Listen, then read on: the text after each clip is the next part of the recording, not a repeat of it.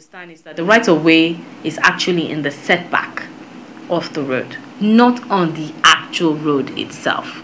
So we have done quite a lot of awareness, you know, engaging with the telecom operators and the other utility infrastructure operators to enlighten them and educate them on this to let them know that it's supposed to be in the setback, not on the actual road. So one of the things that the Ministry of Works and Infrastructure is doing is ensuring that they've, they're, they're putting in place the longitudinal ducts, the transverse ducts, and the cross ducts.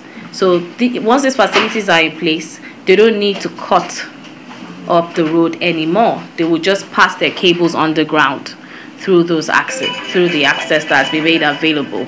So that's you know our focus. So it's a it's a teamwork effort. We're also ensuring that um, going forward, we're also looking into the ensuring that we have a similar facility in place for the power sector on the ground and also for the gas sector on the ground.